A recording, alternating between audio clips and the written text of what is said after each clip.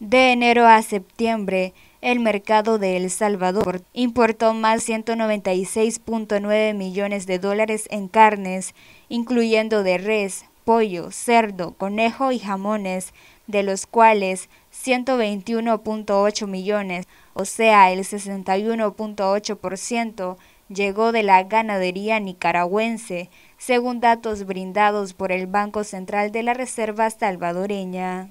Algunos consumidores prefieren los cárnicos nicaragüenses por su sabor, al ser resultado de la cría en pastos y no en granjas con granos, como generalmente ocurre con las reses estadounidenses.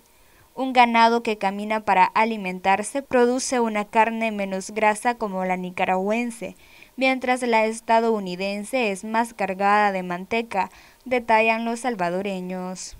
Según importadores salvadoreños en Estados Unidos, se compraron hasta septiembre 51.6 millones de dólares en productos cárnicos, el 26.2% del total, principalmente en cerdo desde el estado de Iowa y res desde Texas. Para Noticias 12, Luisa Centeno.